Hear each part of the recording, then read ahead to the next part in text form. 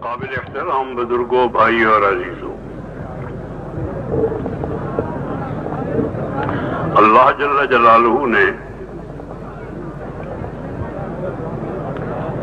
انسان کو اس کائنات میں مرکزی حیثیت عطا فرمائی ہے۔ بسم اللہ الرحمن الرحیم۔ نحمده ونصلي على رسوله الكريم اما بعد۔ حضرین امولیہ Allah Subhanahu wa taala telah menjadikan manusia sebagai pemeran utama di alam semesta ini.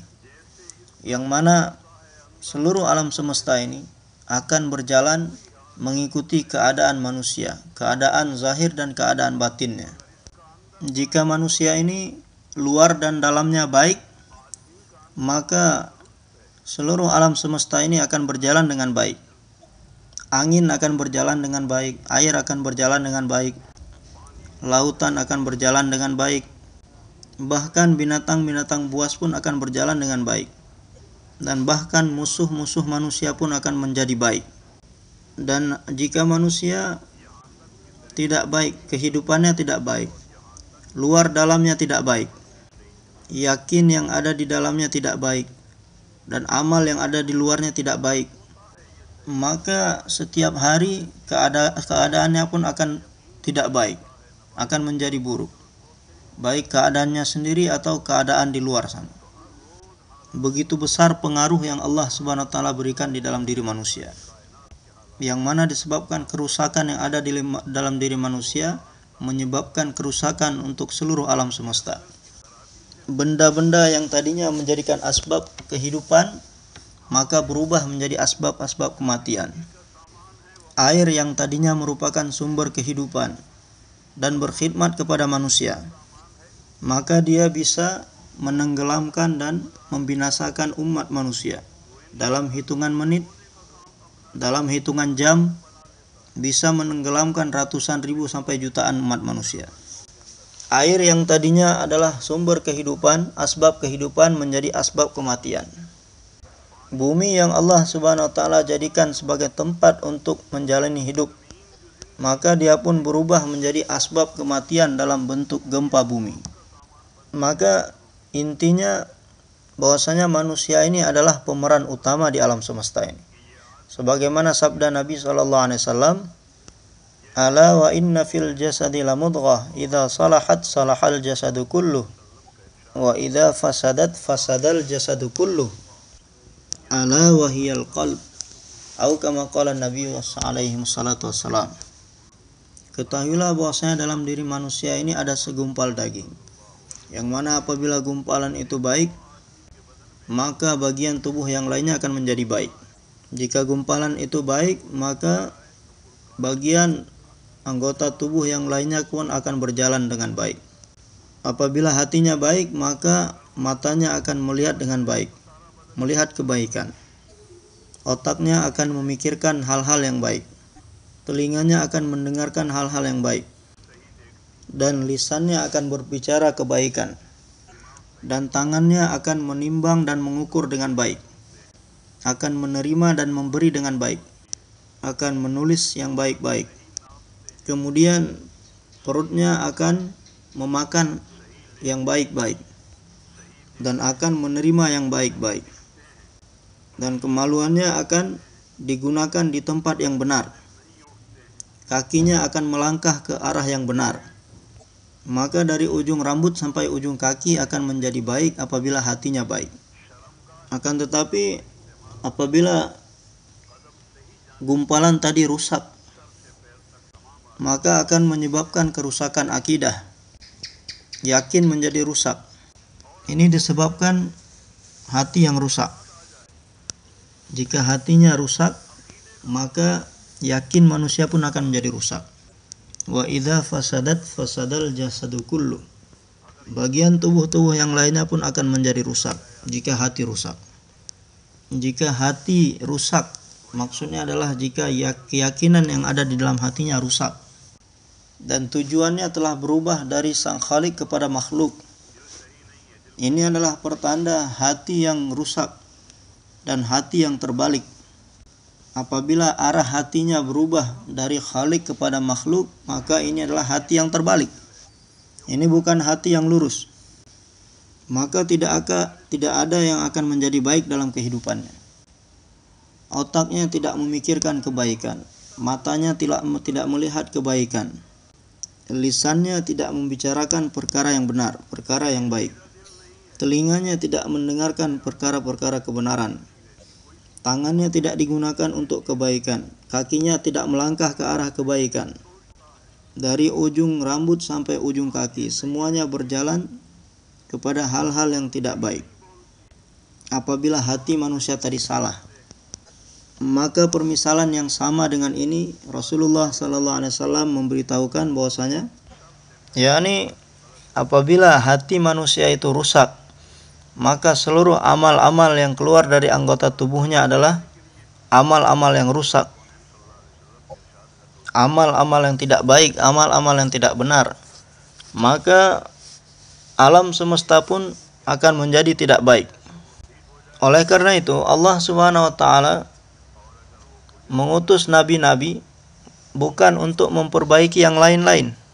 Mereka diutus bukan untuk memperbaiki pertanian, bukan untuk memperbaiki tempat tinggal, bukan diutus untuk memperbaiki harta dan kebendaan, bukan untuk memperbaiki barang-barang yang ada di rumah kita, dan bukan untuk memperbaiki keperluan-keperluan zahir manusia, pakaiannya, untuk memperbaiki kebendaan-kebendaan dunia milik kita tidak ada satu nabi pun yang diutus untuk memperbaiki itu semua.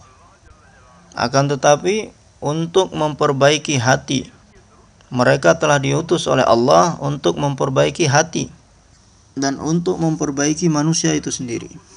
Untuk memperbaiki manusia dan untuk memperbaiki hati manusia. Karena jika hati manusia tidak baik, maka manusia itu pun menjadi tidak baik. Maka untuk memperbaiki manusia tadi, dalam sebuah riwayat disebutkan Allah telah mengutus 124 ribu utusan-utusannya. Dan di, di dalam riwayat yang lain dikatakan bahwasanya 200 ribu nabi-nabi yang telah diutus oleh Allah. Dari setiap nabi-nabi yang diutus sejak Nabi Adam alaihissalam sampai kepada Nabi Muhammad sallallahu alaihi wasallam semua mereka hanya memiliki satu tujuan hidup maksud mereka diutus, maksud mereka diciptakan, tujuan mereka dijadikan utusan. Hanya satu saja, hanya satu tujuan, yaitu untuk mengeluarkan manusia dari kehidupan hewani, dari derajat hewani menjadi sampai kepada derajat khilafat. Seluruh manusia, di mana pun mereka berada, warna apa pun kulitnya, apa pun golongan mereka dan apa pun keadaan mereka. Bagaimana supaya mereka ini dikeluarkan dari hewaniat, kehidupan hewani menuju derajat khilafat. Ini adalah kerja setiap nabi-nabi sampai kepada Nabi Muhammad sallallahu alaihi wasallam pemimpin dua alam. Hanya untuk usaha ini saja mereka telah diutus. Dan seumur hidup setiap nabi-nabi mereka terus sibuk hanya untuk buat usaha ini malam dan siang. Hanya satu usaha dan untuk usaha itu mereka telah menggunakan seumur hidupnya. Seluruh waktu mereka telah digunakan untuk buat usaha ini sehingga tidak ada waktu untuk melihat usaha-usaha yang lain. Walaupun demikian mereka juga merasakan kekurangan dalam usaha mereka. Di bidang ini ada kekurangan, di bidang sana ada kekurangan. Dan kekurangan-kekurangan yang ada itu membuat mereka sedih dan menyakitkan mereka. Maka mereka telah mendapatkan kekurangan-kekurangan disebabkan menjalankan usaha ini. Kekurangan yang mereka dapatkan di rumah tidak ada makanan. Anak-anak di rumah kelaparan. Cucu kelaparan. Cucu-cucu seperti Hasan dan Husain radhiyallahu anhuma. Bahkan ketika umur mereka masih menyusu mengalami kelaparan. Fatimah Zahra putri beliau mengalami kelaparan sampai tiga hari sampai lima hari dalam keadaan itu menantunya dalam kelaparan Aliul Murtada radhiyallahu anhu temannya Abu Bakar Siddiq radhiyallahu anhu kelaparan. Segala penderitaan mereka bisa tahan walaupun kelaparan. Seberapa berat kelaparan yang mereka hadapi? Sayyidah Aisyah radhiyallahu anha mengatakan bahwasanya sampai tiga kali berganti bulan kami melihat dengan mata kami sendiri di rumah-rumah kami tidak nyala api. Mereka sanggup menahan penderitaan seperti ini. Akan tetapi jika di dalam usaha mereka ditemui kekurangan, maka mereka tidak akan sanggup untuk melihatnya. Allah Subhanahu wa taala tidak rela melihat ada kekurangan di dalam usaha ini. Muhammad sallallahu alaihi wasallam tidak rela melihat adanya kekurangan dalam usaha ini. Demikian juga Ibrahim alaihissalam. Yang mana kita ini berada di atas agamanya Ibrahim alaihissalam. Cara yang dibawa oleh Ibrahim alaihissalam dan kita ini adalah umat baginda Nabi Muhammad sallallahu alaihi wasallam. Agama kita adalah agama Ibrahim alaihissalam dan kita adalah umat baginda Nabi Shallallahu alaihi wasallam. Maka dalam kehidupan kita ini adalah dua imam dalam kehidupan kita. Imam dalam kehidupan kita dan imam dalam setiap bagian di kehidupan kita. Maka seumur hidup kita mengik mesti mengikuti mereka dengan benar sebagaimana seorang makmum yang mengikuti imamnya dengan benar. Imam berdiri, makmum berdiri. Imam ruku, makmum ruku. Imam sujud, dia pun sujud. Imam bangun dari sujud, dia pun berdiri. Walaupun makmumnya tadi terbiasa dengan sujud yang lama. Yang mana sujud yang lama ini adalah satu ibadah dan ibadah yang sangat baik. Dan orang yang suka sujud berlama-lama juga kebanyakan orang-orang yang baik. Akan tetapi ketika kita mengikuti imam, kita tidak diizinkan untuk bersujud lama-lama. Jika kita mengikuti imam bersujud lama-lama, maka kita adalah berbuat kesalahan. Maka kita mesti mengikuti imam. Imam berdiri dari sujudnya, kita pun mesti berdiri. Kita mesti mengikuti imam. Ketika dia ini salam, kita pun ikut salam. Jika dia mengimami sholat dengan ringkas maka kita pun harus sholat dengan ringkas dan kita mesti rela dengan ringkasnya sholat seorang imam kalau dia ini mengimani, mengimami dengan cepat maka kita pun sholatnya harus cepat kalau dia mengimami sangat lambat kita pun harus mengikutinya maka kita mengikuti sholat sebagaimana imam sholat maka demikian juga setiap nabi adalah merupakan imam panutan di setiap kaumnya dan di setiap zamannya masing-masing. Dengan mengikutinya, itulah yang disebut dengan sholat, itulah yang disebut dengan kehidupan yang benar. Maka untuk itu kehidupan seseorang ini tergantung bagaimana sholatnya dan sholat seseorang ini tergantung bagaimana kehidupannya. Orang yang sholatnya tidak benar sampai kapan pun kehidupannya tidak akan menjadi benar. Ini merupakan sunatullah, sesuatu yang telah ditetapkan oleh Allah Subhanahu wa taala bahwasanya salat ini adalah patokan. Orang yang salatnya tidak benar, maka sampai kapan pun kehidupannya tidak akan menjadi benar. Dan orang yang salatnya benar, maka Allah Subhanahu wa taala akan memberikan kehidupan yang suci yang bersih kepadanya. Maka oleh karena itu salat ini adalah merupakan patokan. Maka sebagaimana di dalam salat seseorang benar-benar mengikuti imamnya, seorang makmum ini benar-benar mengikuti imamnya dengan bersamaan. Sebagaimana imamnya, dia akan mengikuti setiap apa pun yang dikerjakan imamnya. Dan jika dia tidak mengikuti imamnya, maka orang ini mendapatkan ancaman yang begitu keras. Sabda Nabi SAW, seseorang yang sholat di belakang imam, tetapi dia tidak mengikuti imam, dia sholat dengan keinginannya sendiri. Dia sholat sekehendaknya sendiri. Maka mengenai orang ini Rasulullah Sallallahu Alaihi Wasallam bersabda, maka ditakutkan orang seperti ini nanti pada hari kiamat kepalanya akan menjadi kepala keledai.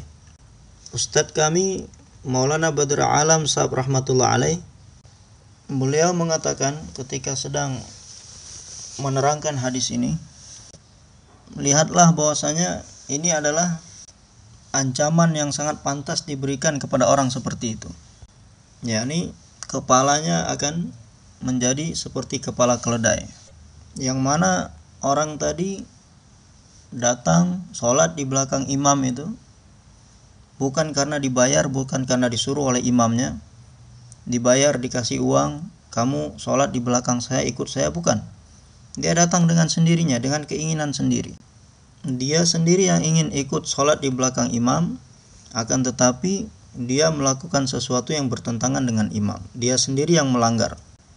Maka inilah sifat keledai maka jika di dunia dia buat sifat keledai seperti ini, maka di akhirat nanti pantaslah untuknya dijadikan kepalanya ini seperti kepala keledai.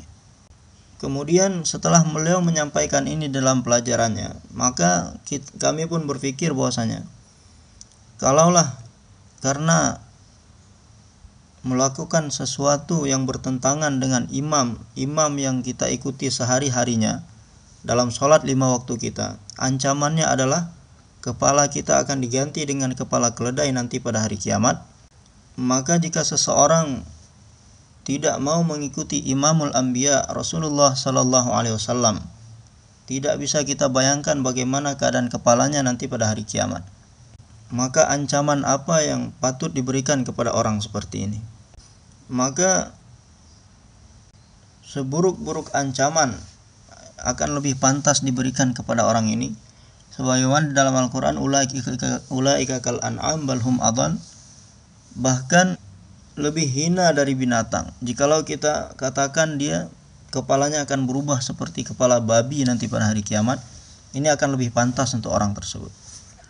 Maka sebagaimana kita mengikuti imam di dalam sholat kita maka untuk seluruh hidup kita bagaimana kita mengikuti Imamul Anbiya baginda Nabi Muhammad sallallahu alaihi wasallam?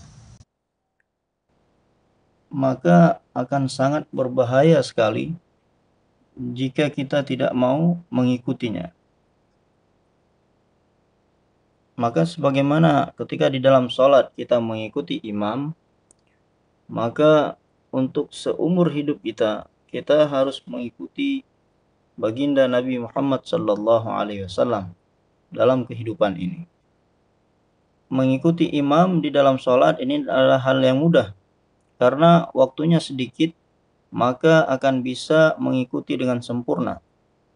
Akan tetapi apabila mengikuti seumur hidup siang dan malam di dalam imaniyah dan ibadah di dalam akhlak dan muasyarah dalam segala sesuatu harus mengikuti Nabi Shallallahu Alaihi Wasallam. Makan, minum, mencari penghasilan, menerima, memberi, melihat, melihat, mendengar, berpikir, berbicara, duduk, berdiri, datang dan pergi, bangun dan tidur, dalam perdagangan, dalam pertanian, dalam segala sesuatu dan setiap urusan, siang dan malam, harus mengikuti kehidupan Nabi Shallallahu Alaihi Wasallam dan Ibrahim alaihissalam. Muhammadur Rasulullah telah dijelaskan di dalam lafaz yang sangat jelas.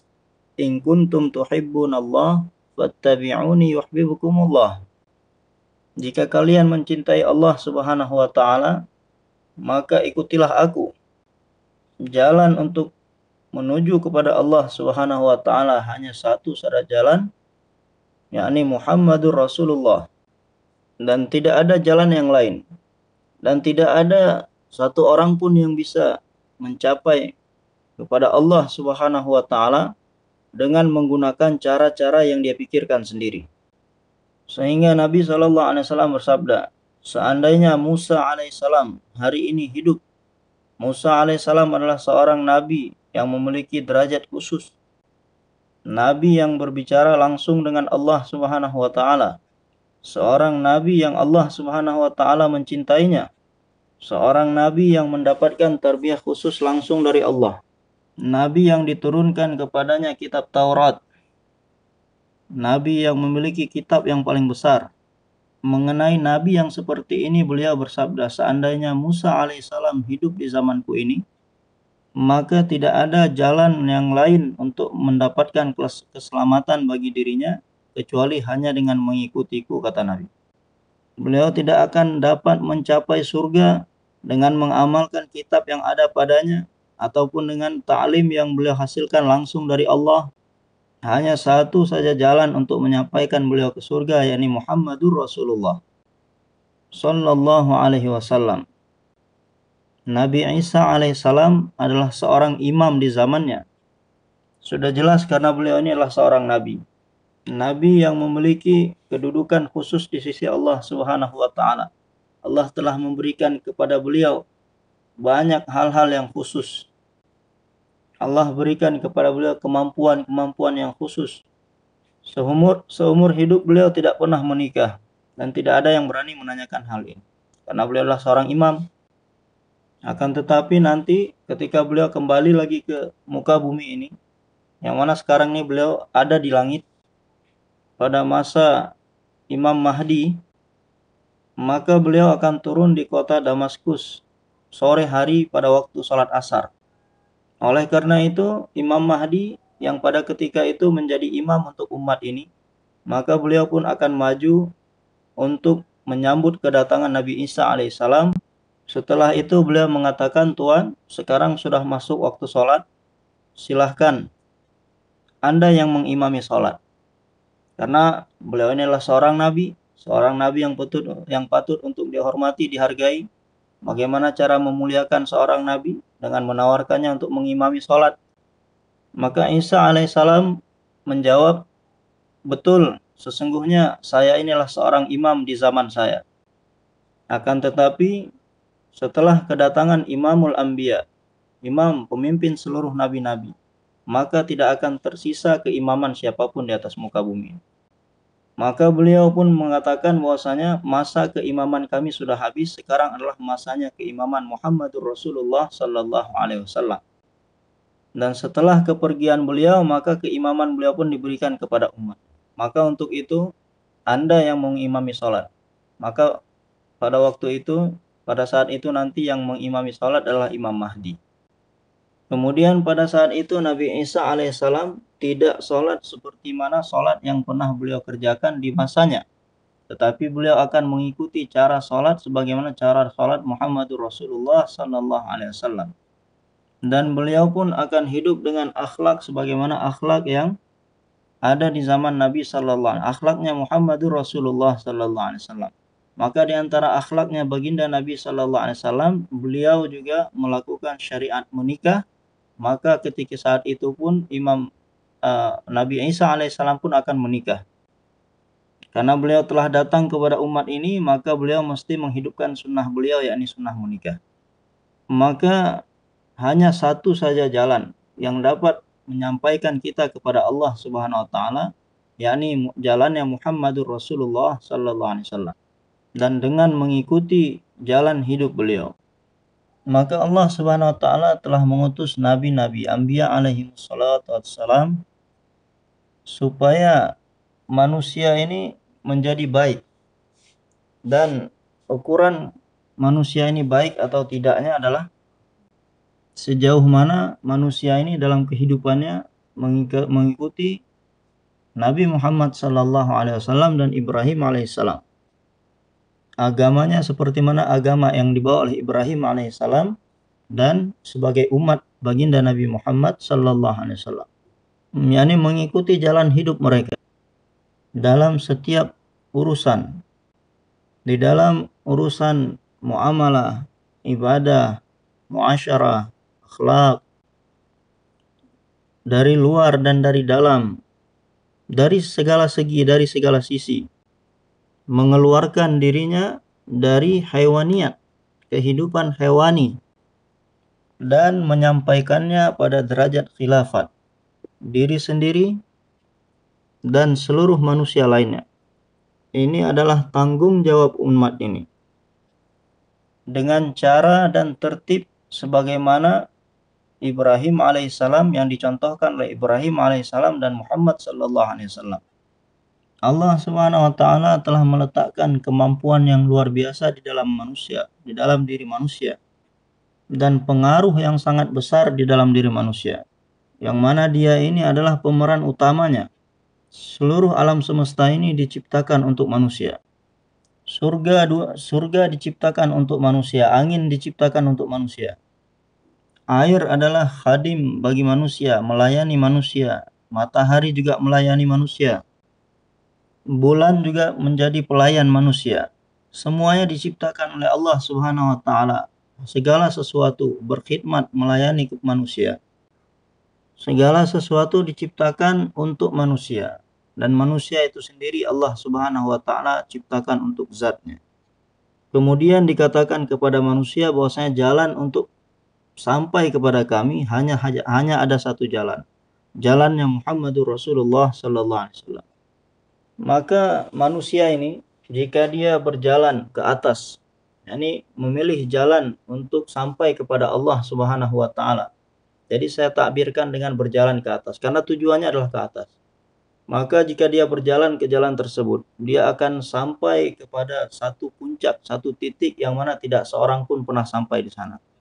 Dan contohnya adalah Rasulullah Sallallahu Alaihi Wasallam sendiri. Tidak ada satu orang pun yang pernah sampai kepada derajat seperti itu. Hanya Muhammadur Rasulullah sallallahu alaihi wasallam saja yang sampai ke derajat seperti itu. Fa'auha ila 'abdihi ma auha. Jadi derajat yang telah dicapai oleh Rasulullah sallallahu alaihi wasallam tidak pernah seorang pun yang pernah sampai ke sana. Dan untuk mencapai derajat seperti itu, beliau tidak pernah menggunakan wasilah atau perantara apa pun yang ada di atas dunia ini. Muhammadur Rasulullah sallallahu alaihi wasallam sampai ke derajat tersebut dengan kekuatan yang ada dalam dirinya sendiri. Di dalam diri beliau sendiri ada satu kekuatan yang dapat menyampaikan beliau pada satu derajat yang mana tidak pernah seorang pun yang pernah sampai pada derajat tersebut. Dan sampai hari kiamat tidak akan pernah ada orang yang akan mencapai derajat yang seperti derajat yang pernah beliau capai amal-amal yang keluar dari diri Rasulullah sallallahu alaihi wasallam yang mulia memiliki kekuatan yang begitu dahsyat. Bagaimana kekuatannya? yakni dengan hanya isyarah dengan jari beliau maka bisa membelah bulan menjadi dua.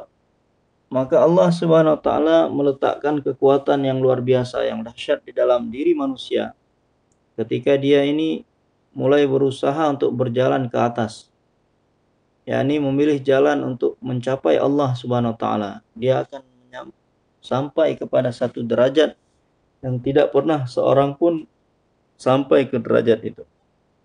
Akan tetapi jika manusia melepaskan dirinya dari ini sehingga dia lupa jalan ke atas, lupa jalan menuju Allah untuk mencapai Allah Subhanahu taala, bahkan nama Allah Subhanahu taala pun dia lupakan, dan lupa untuk meyakini Allah Subhanahu taala, maka apa yang akan terjadi? Dia pun akan berjalan ke bawah.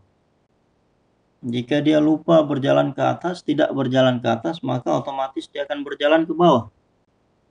Jika dia berjalan ke bawah, maka dia pun akan sampai kepada derajat yang paling terakhir di bawah.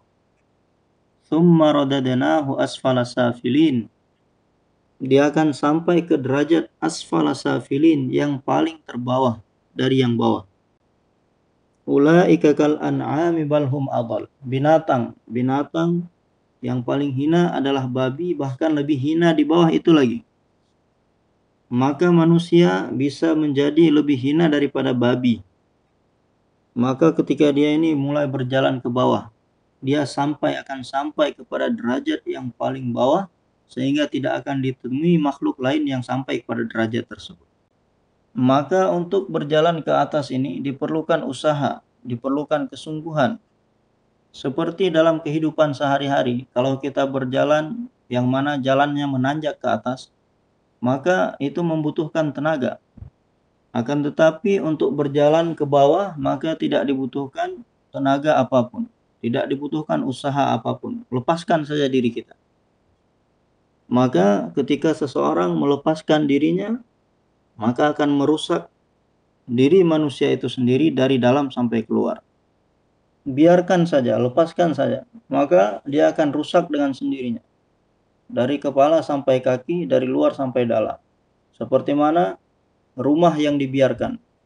Rumah yang hanya dibiarkan saja, tidak pernah di, diurus, maka lama-kelamaan rumah ini akan rusak. Maka akan roboh dengan sendirinya, sedikit demi sedikit. Sampai pada akhirnya tidak akan tersisa apa pun lagi. Demikian juga dengan tanah ataupun kebun. Dia tidak diusahakan, dibiarkan begitu saja. Tidak lagi disirami air dan tidak lagi dibersihkan. Kemudian tidak lagi dibajak, tidak lagi ditanami dengan tanam-tanaman. Apa saja benda-benda yang tadinya perlu di diperhatikan, perlu diurus. Kemudian ketika tidak diperhatikan lagi, tidak diurus lagi, dibiarkan saja begitu saja. Tanah tadi dibiarkan saja. Yang tadinya adalah satu sebidang tanah yang sangat baik, yang sangat bagus, yang bisa mendatangkan asbab-asbab kehidupan dan bisa menyebabkan asbab kehidupan bagi ratusan ribu jutaan orang. Maka jika dibiarkan saja, maka dengan sendirinya dia akan dia pun akan rusak dan hancur. Dengan sendirinya. Maka ketika tanah tadi dibiarkan begitu saja, akan tumbuh di sana semak belukar. Dan ketika tumbuh semak belukar di sana, kemudian hewan-hewan akan bermunculan di tempat itu. Hewan-hewan yang keluar dari tanah, ular, kalajengking, dan sejenisnya. Kemudian binatang hewan-hewan yang lebih besar dari itu. Hewan-hewan jenis pemangsa. Maka semuanya akan tinggal di sana.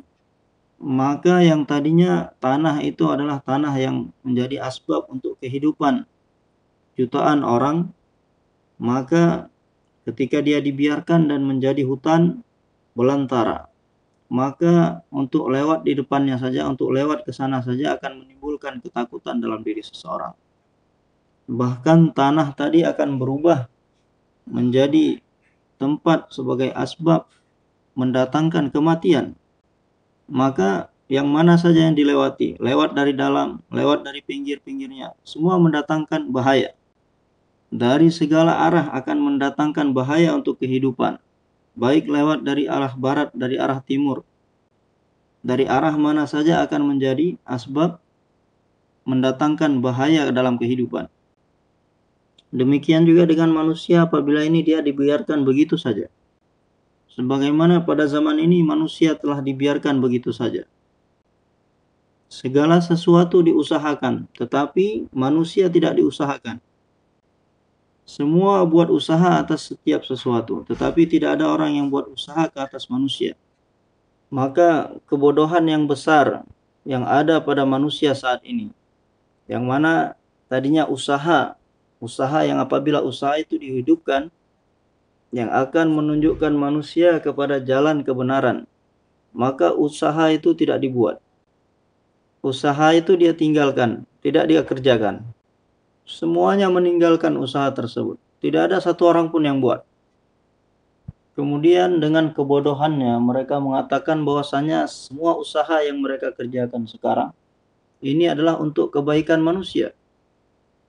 Semua usaha yang mereka usahakan saat ini adalah untuk usaha untuk ke atas manusia. Yang mana usaha-usaha yang mereka lakukan adalah usaha-usaha atas dasar kebodohan mereka maka saya mengatakan bahwasanya tidak ada usaha yang mereka buat untuk kemanusiaan. Karena dalam diri manusia ini ada dua perkara. Yang pertama ruh dan jasad. Yang mana jasad ini adalah bagaikan kendaraan dan yang mengendarainya adalah ruh. Maka di antara kendaraan dan pengendara tadi yang penting untuk diusahakan adalah pengendaranya. Yang mana pada hari ini usaha-usaha yang dibuat yang dihidupkan adalah kepada usaha kepada kendaraannya bukan kepada pengendaranya. Sedangkan pengendaranya sendiri tidak pernah dipikirkan tidak pernah diperhatikan. Pengendara dalam kelaparan apabila seseorang membiarkan dirinya ataupun umat membiarkan umat lainnya atau orang tua membiarkan anak-anaknya, tetangga membiarkan tetangganya, apabila orang-orang berilmu membiarkan orang-orang yang tidak berilmu di sekelilingnya, dan orang-orang yang tidak berilmu meninggalkan orang-orang berilmu.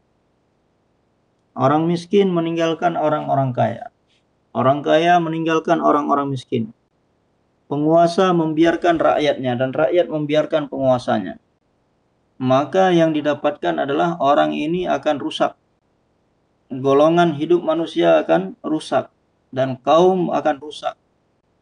Orang-orang satu negara akan rusak, orang-orang satu benua akan rusak.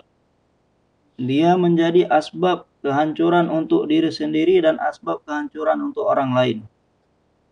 Usaha atas manusia ini bukan berarti tidak ada sama sekali di zaman ini ada usaha yang dibuat oleh orang, usaha atas manusia. Bahkan usaha yang mereka kerjakan, mereka kerjakan dengan semangat dan bersungguh-sungguh. Akan tetapi usaha yang mereka buat itu adalah usaha bukan untuk memperbaiki manusia, tapi untuk merusak manusia. Dengan usaha yang mereka buat saat sekarang ini, maka usaha ini akan bisa merusak seluruh golongan-golongan manusia. Akan merusak semuanya. Akan merusak penguasa akan merusak rakyat. Akan merusak orang kaya akan merusak orang miskin. Semuanya akan dirusak. Karena jika seseorang tidak buat usaha atas agama tidak buat usaha yang telah diberikan oleh Muhammad Rasulullah sallallahu alaihi wasallam yang mana di zaman sahabat-sahabat mereka memiliki satu prinsip prinsip hidup yang mana mereka mengatakan bahwasanya kami akan mati di jalan yang mana beliau mati-matian untuk jalan tersebut. Nah, matilah kamu untuk perkara yang Rasulullah Sallallahu Alaihi Wasallam telah mengorbankan nyawanya untuk itu. Dan jika manusia tidak menggunakan hidupnya untuk perkara ini, yang mana hidup ini pasti akan digunakan di mana saja, tapi kalau tidak digunakan untuk hal seperti ini, maka akan digunakan untuk hal-hal yang lain.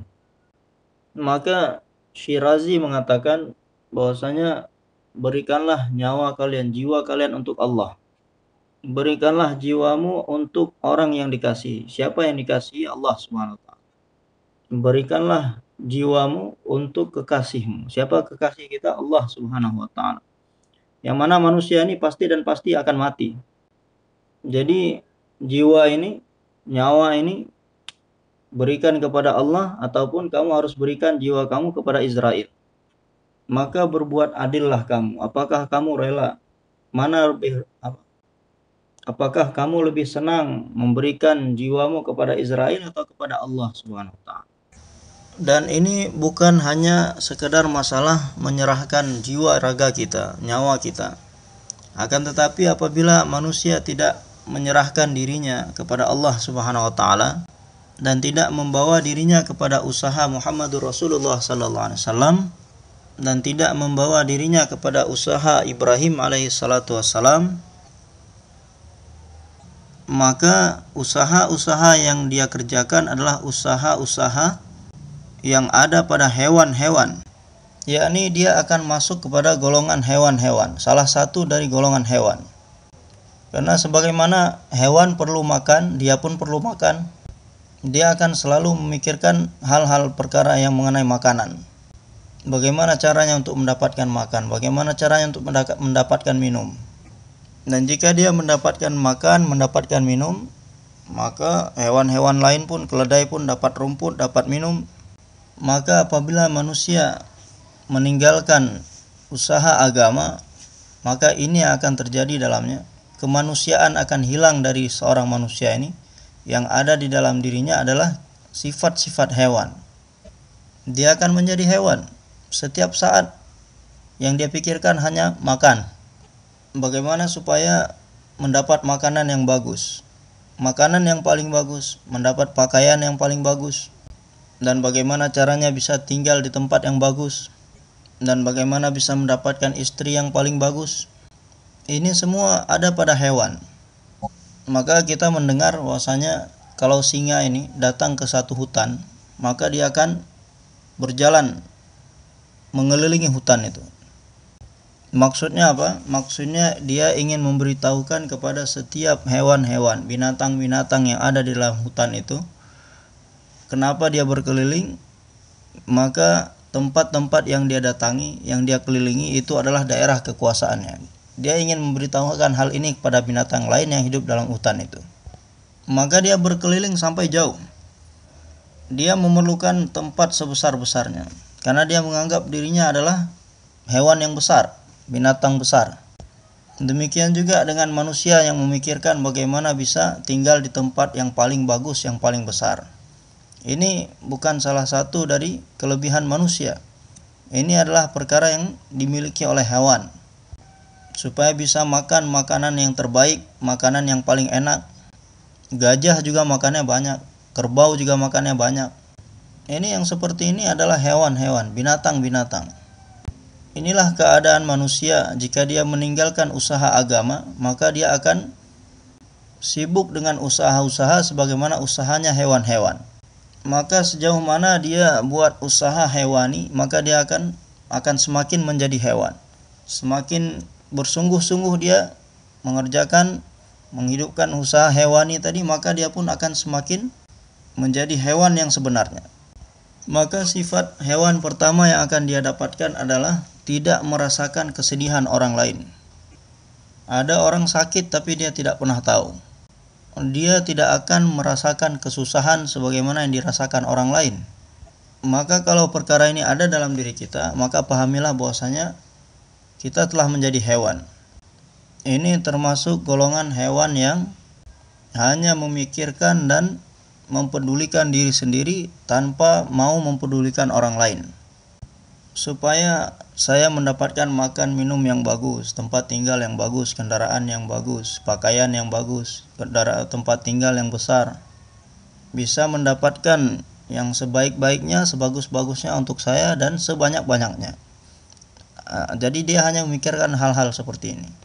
Nah, sifat seperti ini ada pada golongan hewan seperti kuda, keledai, kambing, sapi, kerbau, dia akan menjadi seperti golongan hewan seperti ini. Ini untuk derajat yang pertama, tingkatan pertama. Dia tidak akan tahu, dia tidak akan peduli. Orang-orang mati di rumah sakit, orang-orang mati di di seluruh dunia berapa banyak orang mati, berapa banyak orang mati tertimpa musibah, kena, terkena banjir. Kemudian bagaimana keadaan tetangganya, bagaimana keadaan teman-temannya, kerabat-kerabatnya, saudara-saudaranya. Kemudian orang-orang fakir miskin yang ada di sekelilingnya bagaimana keadaan mereka, orang-orang yang berhajat yang membutuhkan. Bagaimana keadaan agama saat ini, bagaimana keadaan Al-Qur'an saat ini. Dia tidak akan tahu dan tidak akan peduli. Kemudian tingkatan kedua, apabila manusia terus menjalani hidup seperti hewan, menjalani kehidupan hewani, maka tingkatan selanjutnya adalah dia mulai bersaing, menganggap orang-orang lain selain dia adalah saingannya, dan berusaha untuk menjatuhkan orang lain sehingga tidak ada satu orang pun yang bisa menyainginya. Maka sifat hewani yang ada di dalam dirinya akan mengatakan bahwasanya sebelum rumah orang lain, rumah orang lain itu rubuh, maka rumah saya tidak akan besar maka selagi pabriknya terus berjalan maka pabrik saya tidak akan berjalan. Dan selagi toko orang lain berjalan maka toko saya tidak akan jalan. Sehingga dia berusaha untuk mengalahkan orang lain menjatuhkan orang lain yang dianggap menjadi penghalang bagi kemajuan dia sendiri maka tingkat selanjutnya adalah dia berusaha menjatuhkan orang lain untuk kepentingan dia sendiri. Kemudian setelah beberapa saat berlalu seperti ini, yang tadinya dia berusaha menjatuhkan dan mencelakakan orang lain untuk kepentingan dia sendiri, untuk keperluan dia.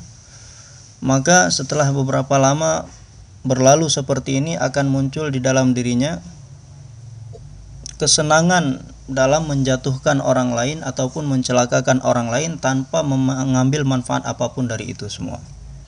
Yang mana jika serigala, seekor serigala, dia memangsa mangsanya, kambing, sampai mangsanya itu mati, akan tetapi dia mendapatkan manfaat dari mangsanya tersebut. Ya, ini dia makan sehingga menjadikan menjadikan perutnya kenyang. Ini tingkatan kedua yang akan didapatkan oleh manusia dalam kehidupan hewani, golongan yang kedua.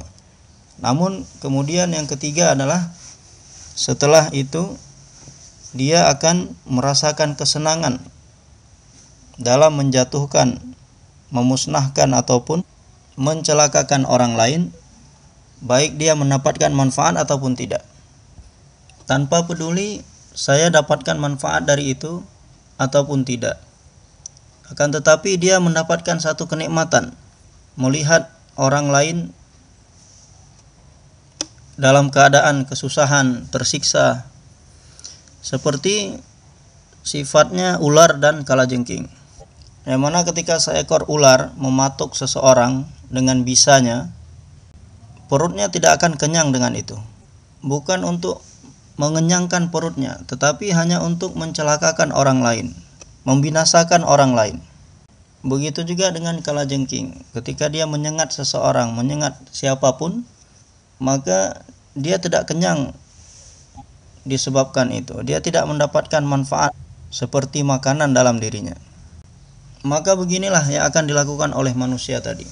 Dia hanya berusaha untuk membinasakan orang lain, mencelakakan orang lain. Maka ketika manusia sampai pada tingkatan seperti ini, yakni setiap saat dan keadaan berusaha untuk mencelakakan orang lain, membinasakan orang lain, seperti yang di, terjadi di zaman sekarang ini.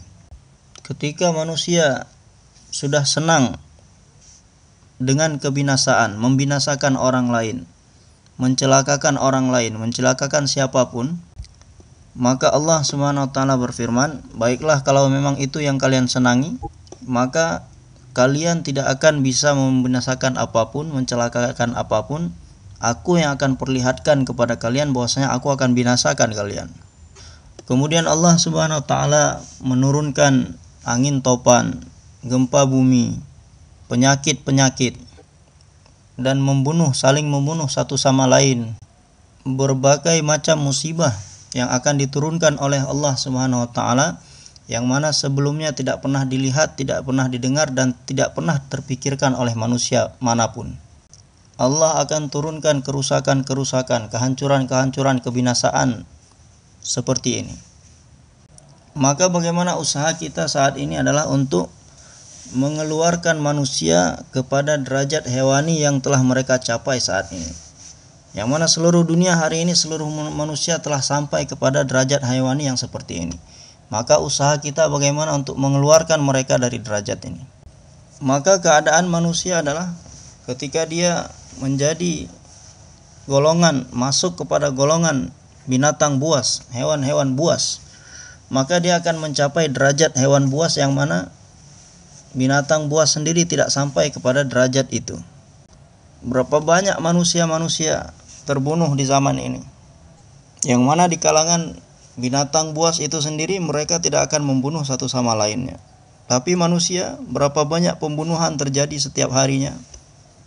Akan tetapi Allah Subhanahu wa taala zat yang sabur, yang banyak bersabar, sangat maha penyabar. Allah Subhanahu wa taala melihat apa yang dilakukan oleh manusia, yang diperbuat manusia saat ini. Allah Subhanahu wa taala melihat akan tetapi Allah juga sabur, sangat penyabar. Allah Subhanahu wa taala berikan kesempatan. Allah Subhanahu wa taala tidak langsung menurunkan peringatan supaya manusia ini sadar, supaya manusia ini kembali kepadanya. Manusia sudah banyak dikasih kesempatan oleh Allah. Maka hendaknya manusia kembali kepada Allah Subhanahu wa taala. Saat ini Allah belum menutup pintu taubat. Yang mana manusia telah mencapai derajat hewaniat yang paling rendah dan manusia telah menyiapkan segala asbab-asbab kebinasaan dan kehancuran untuk dirinya sendiri. Dan kenapa hari ini mas, manusia masih tersisa di muka bumi ini? Ini karena pengaruh daripada sifat saburnya Allah, maha penyabarnya Allah. Atau karena sifat afunya Allah subhanahu wa ta'ala. Allahumma innaka afuun. Sifat afu. Tuhibbul afwa fa'fu anna. Karena Allah subhanahu wa ta'ala memiliki sifat yang afu, maha pemaaf, memaafkan. Walaupun Allah subhanahu wa ta'ala maha melihat, tapi Allah maafkan. Maka manusia masih selamat saat ini disebabkan karena pengaruh daripada sifat afunya Allah Subhanahu wa taala. Kalau tidak, maka manusia sudah tidak memiliki peralatan apa lagi untuk melindungi dirinya dari azab Allah.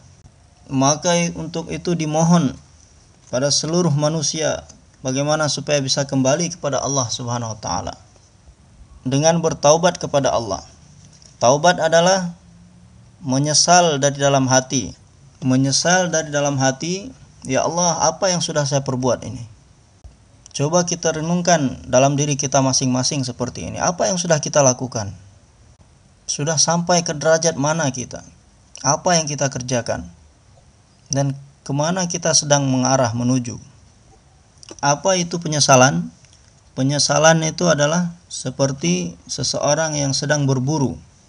Berburu rusa, menangkap rusa dengan senjatanya maka ketika diarahkan senjatanya ke arah rusa dan dia lepaskan tembakannya, ternyata rusa tadi lari dari tempatnya dan ternyata tembakannya mengenai anak laki-lakinya, anaknya yang masih kecil sehingga menembus dada anaknya dan anaknya pun mati. Maka ketika anak tadi yang masih muda yang masih kecil jatuh terbaring karena kena tembakan tadi, maka apa yang akan keluar dari dalam diri yang menembaknya tadi, bapaknya tadi? Apakah tidak akan keluar penyesalan? Maka penyesalan yang sangat besar. Hai, apa yang saya telah perbuat? Nah, inilah yang dikatakan dengan penyesalan. Ketika kita sedang berada di hadapan Allah, Allah melihat kita, Allah mengetahui perbuatan kita. Yang mana kita makan, tinggal, minum di rumahnya, di tempatnya, karena bumi yang tempat kita tinggal ini milik siapa? Milik Allah. Dengan adanya semua ini, kenapa saya masih berani buat seperti ini? Jika Allah swt memberikan penyesalan kepada seorang hamba di dalam dirinya seperti ini, yang mana dia disebut dengan taubah, maka salah satu bagian dari taubat itu adalah penyesalan, menyesal. Menyesal dari dalam hati. Jadi bukan hanya lisan yang mengucapkan taubat-taubat, tetapi penyesalan dari dalam hati. Wahai, apa yang telah saya lakukan? Apa yang saya telah perbuat? Maka jika Allah Subhanahu wa taala memberikan penyesalan ini kepada seseorang yang mana hanya memerlukan waktu beberapa detik, tidak sampai satu menit. Akan tetapi disebabkan penyesalan ini Allah Subhanahu wa taala akan ampuni dosa-dosanya walaupun ribuan tahun yang lalu. Walaupun beribu-ribu tahun banyaknya dosa yang dia kerjakan bagaimana maha pengampunnya Allah Subhanahu wa taala. Dengan penyesalan yang hanya beberapa saat saja, Allah Subhanahu wa taala ampuni dosanya bertahun-tahun lamanya, ratusan ribuan tahun lamanya. Maka jangan sampai ada keputusasaan. Walaupun seribu kali kita bertaubat lagi dan lagi, kami akan terima kata Allah. Walaupun beribu-ribu kali dia bertaubat, hamba seorang hamba bertaubat, Allah akan terima setiap taubatnya. Maka yang pertama sekali yang kita lakukan dalam taubat adalah yang pertama sekali adalah bagaimana kita bertaubat. Ya Allah, maafkan ya Allah. Ampuni ya Allah. Ya Allah, maafkanlah dan saya tidak akan mengulanginya lagi. Ini yang kedua. Yang kedua, saya tidak akan mengulanginya. Maafkan dan saya tidak akan mengulanginya lagi. Kemudian setelah bertaubat, maka kita keluar dari kehidupan hewani dari kehidupan hewaniat menuju kepada derajat khilafat. Inti dari kehidupan hewaniat yang pertama adalah bagaimana supaya kehidupan saya, kehidupan anak istri saya menjadi baik. Jadi kalau hanya sekedar untuk memelihara anak sendiri, maka ini bukanlah salah satu kehebatan manusia. Kenapa? Karena yang di luar manusia sana mereka juga pun memelihara anak-anak mereka, hewan-hewan yang lain, kucing. Semua binatang-binatang memelihara anak-anak mereka. Nah, akan tetapi memelihara anak yatim. Ini baru sesuatu yang hebat. Karena ini adalah amal nabi-nabi. Dan ini adalah jalan yang telah diberitahukan. Jalannya Ibrahim alaihissalam, jalannya Muhammadur Rasulullah sallallahu alaihi wasallam. Jadi jadi bagaimana kita berusaha mengeluarkan diri kita dari kehidupan seperti ini kemudian membawa diri kita kepada khilafat. Kehidupan khilafat adalah mengorbankan segala sesuatu yang kita miliki untuk supaya orang lain menjadi baik. Menggunakan diri sendiri, menggunakan harta sendiri, menggunakan waktu, menggunakan kemampuan sendiri, mengorbankan kesenangan dan kenyamanan, mengorbankan makan kita, menggunakan apa saja yang kita miliki untuk memperbaiki kehidupan orang lain, supaya orang lain hidupnya menjadi baik Inilah yang disebut dengan kehidupan khilafat. Jadi mengeluarkan diri sendiri dan orang lain dari kehidupan hewani kepada kehidupan khilafat yang mana kehidupan khilafat ini adalah maksud yang sesungguhnya manusia itu diciptakan. Sebagaimana ketika sebelum menciptakan Nabi Adam alaihissalam, Allah Subhanahu wa taala berfirman, "Inni ja'ilun fil ardi khalifah." Qalu ataj'alu fiha man yufsidu fiha wa yasfiku ad-dima wa nahnu nusabbihu bihamdika wa nuqaddisu lak. Qala inni a'lamu ma la ta'lamun. Bahwasanya manusia ini diciptakan oleh Allah Subhanahu wa taala untuk menjadi khalifahnya. Maksudnya adalah bagaimana mengorbankan segalanya yang dia miliki, menggunakan apa saja yang dia miliki untuk memperbaiki kehidupan orang lain. Untuk inilah manusia diciptakan. Kuntum khaira ummatin ukhrijat linnas. Kalian adalah sebaik-baik umat yang dikeluarkan untuk manusia, bukan untuk diri sendiri. Jadi otak ini bukan hanya untuk kamu saja, tapi supaya memikirkan seluruh manusia, semua, setiap orang. Mata yang kami berikan bukan hanya untuk dirimu saja, tapi lihat keadaan orang lain. Lidah yang kami berikan bukan hanya untuk dirimu saja, tapi bicara untuk semua orang. Gunakan kekuatan yang kami berikan untuk orang lain. Wa mimma razaqnahum yunfiqun. Segala kekuatan yang diberikan oleh Allah Subhanahu wa taala dari dalam ataupun dari luar. Maka gunakan sebagian darinya di jalan Allah. Kekuatan melihat Allah Subhanahu wa taala berikan, maka lihat melihat untuk diri sendiri dan bantu orang-orang yang tidak melihat supaya mereka melihat. Allah Subhanahu wa taala berikan kemampuan untuk mencari penghasilan, cari penghasilan. Tapi jangan cari penghasilan hanya untuk diri sendiri saja, tapi untuk semua orang. Apa yang saya hasilkan bukan saya hasilkan untuk diri saya sendiri, tetapi untuk seluruh makhluk-makhluk Allah. Dari Abu Bakar radhiyallahu anhu sampai Sayyidina Bilal radhiyallahu taala anhu, semua mereka adalah orang-orang yang melakukan segala-galanya untuk orang lain bukan untuk diri sendiri. Melakukan apa pun, mengerjakan apa pun untuk se semua orang. Allah Subhanahu wa taala ciptakan manusia ini, umat ini untuk memberikan manfaat kepada seluruh manusia. Maka jika manusia buat seperti ini, umat ini buat seperti ini, maka Allah Subhanahu wa taala akan menyampaikan orang ini kepada derajat khilafah, khalifah sehingga ketika orang-orang melihat perubahan dalam kehidupannya, orang-orang yang akan mengatakan, ini kan dia dulu orangnya yang selalu hanya memikirkan diri sendiri saja. Bahkan dia senang mengorbankan orang lain untuk kepentingannya. Bahkan dia senang mengorbankan orang lain tanpa mengambil manfaat apa pun dari itu. Maka orang yang tadinya hanya memikirkan diri sendiri, bahkan mengorbankan orang lain untuk kepentingan dirinya, setelah Allah berikan kepadanya derajat khalifah maka pada malam hari jam 12 malam berkeliling di kota Madinah siapa dia khalifah kedua Sayyidina Umar radhiyallahu anhu orang bertanya wahai Umar kenapa kamu sudah larut malam tapi masih berkeliling mengelilingi kota Sayyidina Umar radhiyallahu anhu menjawab bahwasanya jika setiap manusia dan setiap makhluk yang ada di dalam wilayah pemerintahan saya ini yang seperti yang telah diberikan oleh Allah Subhanahu wa taala yang berada di dalam wilayah ini. Jika ada satu ekor anjing pun yang kelaparan tertidur karena kelaparan, maka Umar radhiyallahu an Umar akan ditanya oleh Allah pada hari kiamat mengenai hal ini. Ini keadaan sahabat-sahabat dahulu dan ini bukan hanya Amirul Mukminin Sayyidina Umar radhiyallahu anhu, semua sahabat-sahabat dari Sayyidina Abu Bakar sampai Sayyidina Bilal.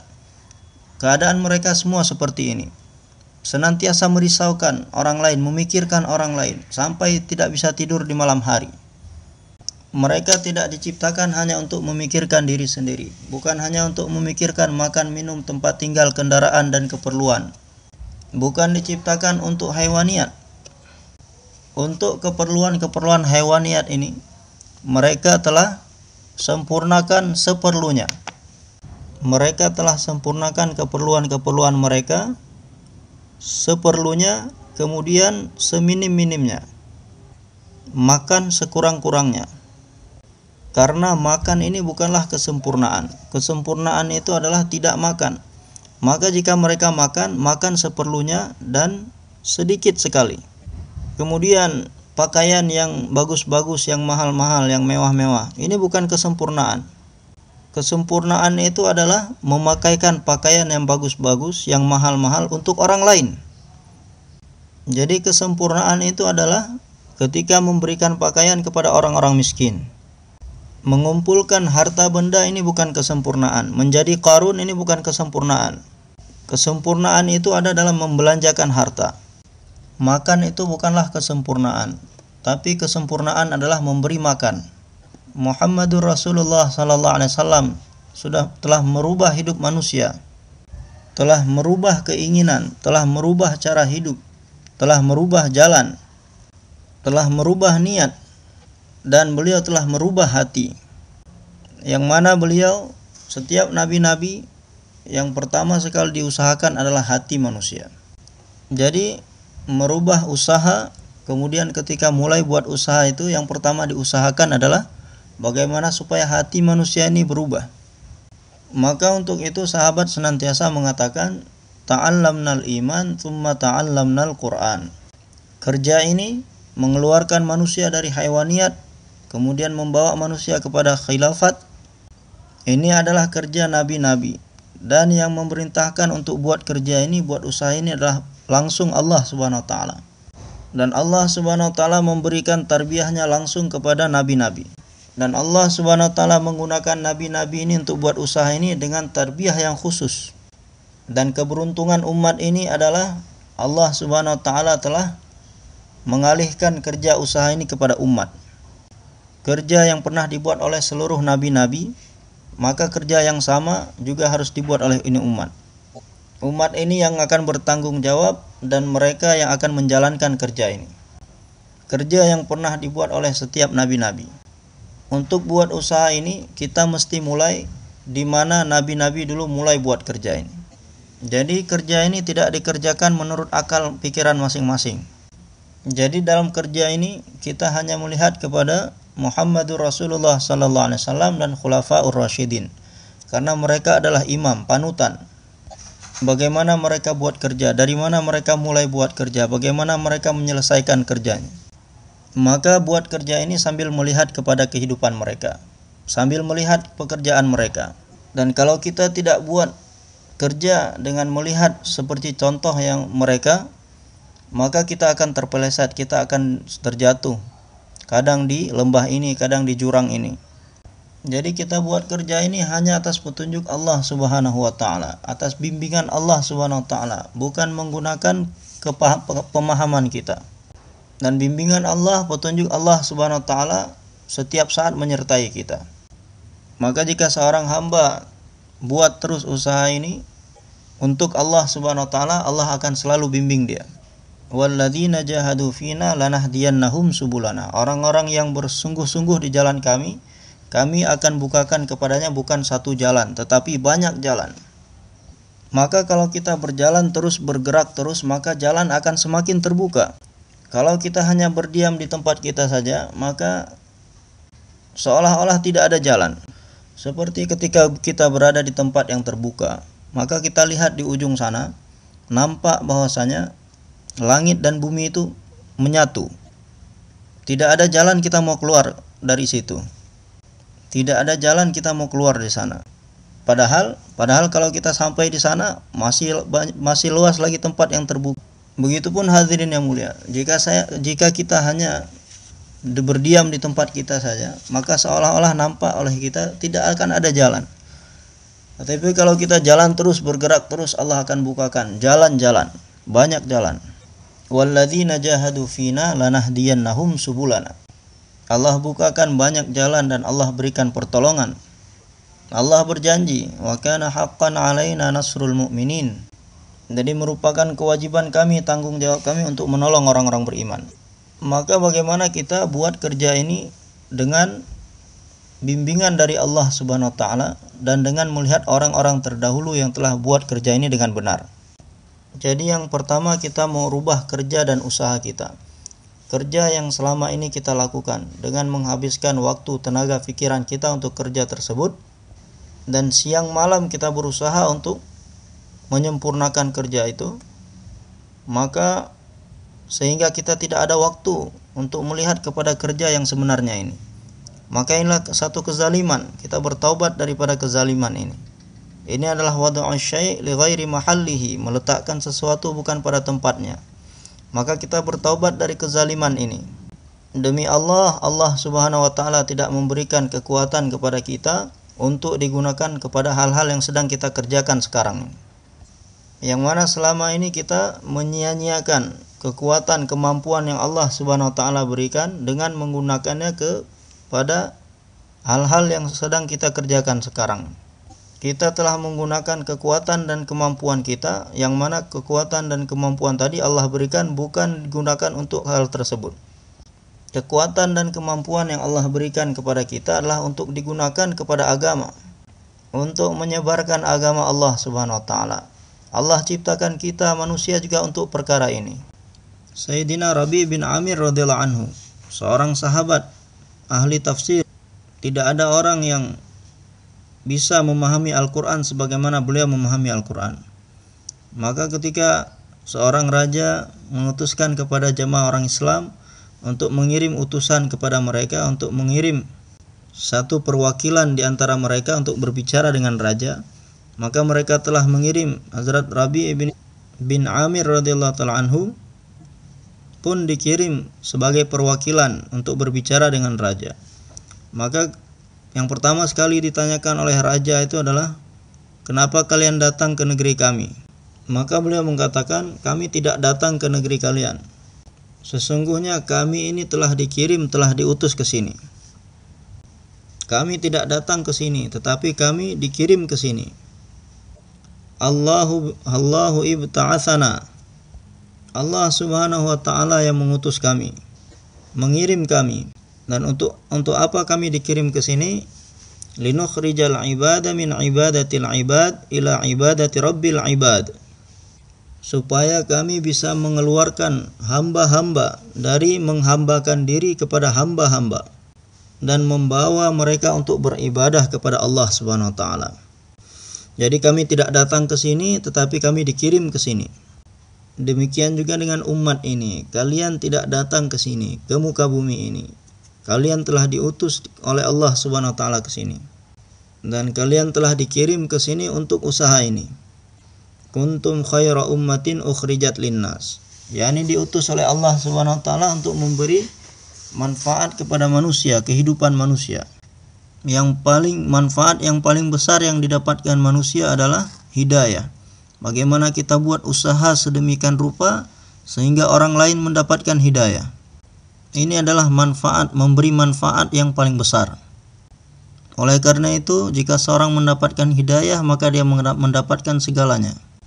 Namun jika seseorang mendapatkan harta seperti Karun ataupun mendapatkan kekuasaan kerajaan seperti Firaun, seperti Namrud ataupun mendapatkan bangunan-bangunan seperti kaum Ad dan Samud ataupun mendapatkan perkebunan pertanian seperti kaum Saba. Akan tetapi dia tidak mendapatkan hidayah. Maka demi Allah dia tidak akan mendapatkan apa pun. Kemudian ada satu orang lagi tidak dapatkan apa-apa Makanan untuk dimakan tidak dapat. Rumah untuk tempat tinggal tidak dapat. alas untuk tidur tidak dapat. Akan tetapi Allah Subhanahu wa berikan kepadanya hidayah yang sempurna, hidayah yang besar dan hidayah yang kekal. Maka dia sudah mendapatkan segala-galanya. Maka manusia ini diciptakan oleh Allah Subhanahu wa taala ada adalah untuk buat suatu usaha. Yang mana dengan usaha tersebut akan mendatangkan hidayah dalam kehidupan manusia. Dan yang mana hidayah ini adalah perkara yang sangat penting dalam kehidupan manusia melebihi kepentingan lainnya maka memberikan manfaat yang besar manfaat yang paling besar yang diberikan untuk manusia dan khidmat yang paling besar yang diberikan kepada manusia adalah membawa mereka kepada jalan yang sebenarnya atas dasar inilah Allah Subhanahu wa taala telah ciptakan manusia hanya untuk tanggung jawab ini dan tempat yang menggunakan seluruh anggota tubuh kita adalah di sini. Tempat menggunakan pikiran kita adalah di sini. Tempat menggunakan mata, telinga, lidah kita, tempat menggunakan tangan dan kaki kita hanya di dalam usaha ini saja. Jadi usaha ini adalah tempat kita menggunakan seluruh anggota tubuh kita. Dan tempat menggunakan harta kita, tempat menggunakan kemampuan kita, tempat menggunakan hubungan-hubungan kita supaya kita menggunakan waktu kita untuk kerja ini dan supaya kita menggunakan segala apa yang kita punya untuk kerja ini.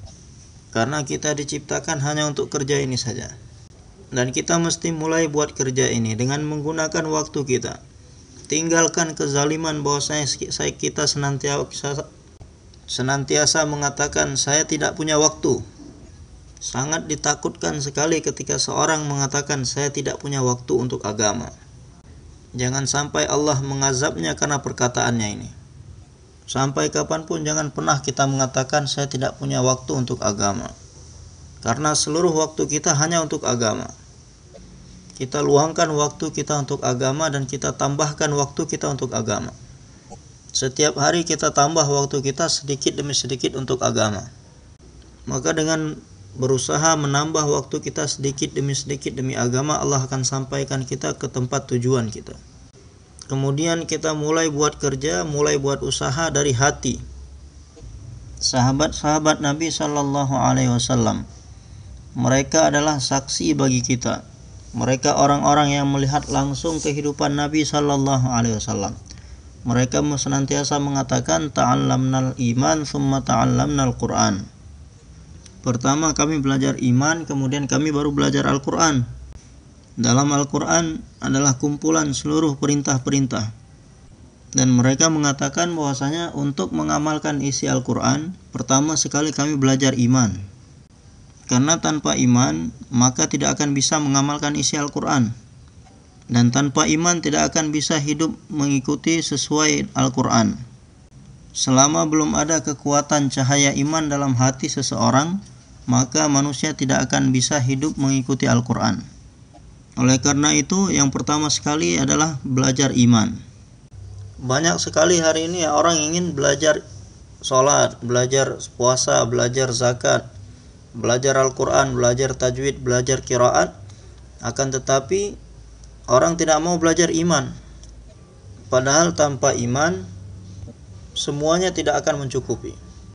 Jadi usaha yang paling pertama dalam agama inilah belajar iman. Sahabat radhiyallahu anhum mengatakan seperti ini. Mereka ada di hadapan Nabi sallallahu alaihi wasallam. Mereka ada di majelis Nabi sallallahu alaihi wasallam. Mereka ada bersama Nabi sallallahu alaihi wasallam. Sahabat radhiyallahu taala anhum ajmain semuanya telah mereka lakukan. Mereka telah berjihad, tetapi mereka tidak disebut dengan mujahid mereka sudah melaksanakan ibadah haji, tetapi mereka tidak disebut dengan haji. Kalau ada orang mengatakan Haji Abu Bakar, maka akan terasa aneh sekali di kuping kita, di telinga kita. Haji Abu Bakar, Haji Ali, Haji Umar, mereka sudah buat amal apa saja, tapi mereka tidak disebut dengan amal yang pernah mereka kerjakan. Setiap mereka disebut dengan sahabat. Kesempurnaan yang paling besar yang dimiliki oleh sahabat adalah mereka belajar agama dalam sahabat Nabi Shallallahu Alaihi Wasallam. Agama ini tidak datang hanya dengan mendengar saja, tidak hanya tidak akan datang hanya dengan mendengarkan bayan-bayan saja. Tidak akan datang hanya dengan belajar saja. Agama akan datang dengan belajar, dengan dipelajari, bukan hanya dengan membaca saja. Ya ayyuhar rasul balligh ma unzila ilaika min. Sampaikan perkara-perkara yang perlu disampaikan kepada siapa saja yang perlu disampaikan Iman ini adalah amalnya hati. Jika kamu belum bisa memasukkan keimanan ke dalam hatimu, maka kamu belum buat apa-apa. Jika kamu belum menyampaikan iman dan yakin ini ke dalam hati, maka kamu belum buat apa-apa. Kamu belum menyempurnakan tanggung jawab. Kamu belum buat usaha dengan benar. Apabila kamu buat usaha sehingga menyampaikan yakin-yakin ke dalam hati-hati, maka kamu telah buat usaha dengan benar. Iman ini bukan hanya mengucapkan kalimah. Di dalam Al-Quran disebutkan, Ya ayuhalladzina amanu aminu. Dikatakan kepada orang-orang beriman, berimanlah kalian. Takbirnya adalah saya mengatakan bahwasanya wahai orang-orang Karachi yang beriman, berimanlah kalian sebagaimana imannya orang-orang Mekah. Berimanlah kalian sebagaimana imannya Abu Bakar, imannya Bilal, imannya Ali radhiyallahu anhum. Karena iman yang sesungguhnya itu bukan yang ada pada kalian saat ini, tapi iman yang sesungguhnya adalah yang ada pada mereka dahulu. Itulah iman yang dikehendaki. Qalatil a'rabu amanna telah datang orang-orang Badui, orang-orang dusun dan mengatakan sungguhnya kami telah beriman. Orang-orang dusun datang kepada Nabi sallallahu alaihi wasallam kota Madinah dan mengatakan seperti ini langsung di hadapan Nabi sallallahu alaihi wasallam. Seseorang telah memberikan dakwah di daerah mereka, di kampung mereka. Kemudian mereka pun telah mengucapkan kalimat dan mereka pun telah senang bahwasanya kami telah menjadi orang yang beriman dan mereka membawa kabar gembira ini ke hadapan Nabi Shallallahu Alaihi Wasallam di kota Madinah. Mereka datang dari kampung ke kota dan langsung mengatakan hal ini di hadapan Nabi. Ya Rasulullah, sungguhnya kami telah menjadi orang beriman. Pada saat mereka mengatakan ini, pada saat itu juga Jibril datang kepada mereka kepada Rasulullah sallallahu alaihi wasallam dari sisi Allah dan mengatakan qul lam tu'minu. Sekarang mereka ini belum beriman. Padahal mereka telah mengucapkan kalimat, mengucapkan di hadapan Nabi Shallallahu Alaihi Wasallam di kota Madinah di Masjid Nabawi. Akan tetapi Jibril datang dan mengatakan kulam tu'minu. Ya Rasulullah katakan kepada mereka, mereka belum beriman, belum menjadi orang beriman. Kenapa? Padahal mereka telah mengucapkan kalimat. Apalagi yang diinginkan untuk menjadi seorang beriman maka diperintahkan jangan mengatakan seperti itu. Tapi katakanlah bahwasanya kami telah percaya kepada apa yang dikatakan Nabi Shallallahu Alaihi Wasallam. Bagus sekali kalian telah mengucapkan kalimat ini. Karena kalimat ini adalah kalimat-kalimat yang begitu besar. Lafaznya juga begitu besar. Maknanya juga begitu besar. Apalagi dengan hakikatnya. Akan tetapi sampai sekarang ini kalian masih sebatas percaya kepada ucapan Nabi Shallallahu Alaihi Wasallam. Percaya terhadap agama ini menerima agama ini dan percaya kepada perkataan sahabat-sahabat Nabi Sallallahu Alaihi Wasallam. Maka kapan kami disebut sebagai seorang beriman? Apa sebabnya mereka belum menjadi orang beriman? Walamma yadkhulul imanu fi qulubikum. Sampai saat ini iman belum masuk di dalam hati kalian. Ketika ini eh, ketika iman ini masuk ke dalam hati, maka waktu ketika itu pula iman akan terbentuk. Sampai saat ini iman belum masuk ke dalam hati. Selama iman belum masuk ke dalam hati, maka selama itu pula seorang belum menjadi orang yang beriman. Ini merupakan salah satu syarat. Rasulullah sallallahu alaihi wasallam berdoa, Allahumma inni as'aluka imanan yubashiru qalbi. Allahumma inni as'aluka imanan yubashiru qalbi. Ya Allah, sesungguhnya aku memohon kepadamu kepada iman yang melekat di dalam hatiku iman yang akan melekat di dalam hatiku. Bukan iman yang hanya didengar oleh telinga. Bukan iman yang hanya sampai kepada pemahaman. Bukan iman yang hanya ada di lisan. akan tetapi iman yang melekat di dalam hati. Aku mohon kepadamu kepadamu iman seperti ini. Kemudian doa yang kedua, Allahumma habib ilainal iman. Ya Allah, jadikanlah iman ini sesuatu yang aku cintai di dalam hatiku. Sesuatu yang disukai oleh hatiku. Yang mana setelah itu tidak ada yang akan diinginkan oleh hati ini. Hanya iman saja yang diinginkan, yang disukai. Ya Allah, jadikanlah iman ini sesuatu yang sangat dicintai, disukai oleh hati kami. Sehingga kami bisa mengorbankan kecintaan-kecintaan lain terhadap perkara lain untuk mendapatkannya. Jadi iman ini akan menjadi sesuatu yang dicintai oleh hati apabila seluruh kecintaan selain pada itu bisa dikorbankan untuk mendapatkannya. Kecintaan kepada anak, kecintaan kepada pekerjaan, kecintaan kepada harta dan kebendaan. Setiap kecintaan pada apa pun bisa dikorbankan untuk perkara iman. Wa zayyinhu fi qulubina. Ya Allah, jadikanlah iman ini sebagai perhiasan di hati kami. Maka selagi iman ini belum menjadi perhiasan di dalam hati, maka iman ini belum jadi. Inilah dia la ilaha illallah Muhammadur Rasulullah. Asyhadu an la ilaha illallah wa asyhadu anna Muhammadan abduhu wa rasuluh. Kalimat iman. Ini adalah kalimat iman. Tidak diragukan. Akan tetapi orang munafik juga mengucapkan kalimat ini dulu. Bahkan mereka bisa mengucapkannya dengan sangat baik sehingga qari yang paling handal, yang paling bagus dalam bacaannya di negara kalian tidak bisa menyamai bacaan mereka ketika orang-orang munafik tadi ketika mengucapkan kalimat ini. Dan mungkin tidak ada satu orang pun orang yang paling alim, orang yang paling mufti dan paling memiliki ilmu yang banyak di negara kita ini yang bisa memahami kalimat ini dengan benar sebagaimana orang-orang munafikin dulu memahami kalimat ini, memahami makna dari kalimat ini. Bagaimana mereka dahulu mengenal Allah dan mengenal kalimat ini ya'rifunahu kama ya'rifuna abna'ahum. Sebagaimana kita mengenal anak-anak kita sendiri begitulah mereka mengenal kepada Allah dan kepada kalimah ini akan tetapi yang dinamakan iman itu bukanlah pemahaman.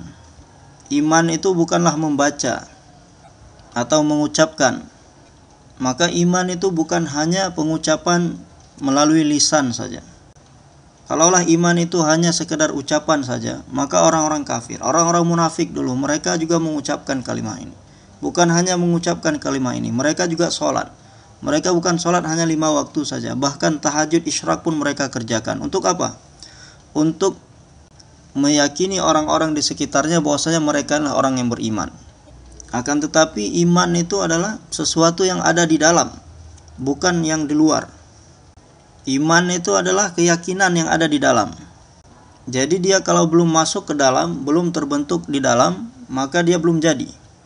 Kemudian sangat berbahaya sekali dan sangat ditakutkan sekali apabila kita pergi dari dunia ini tanpa membawa hal ini.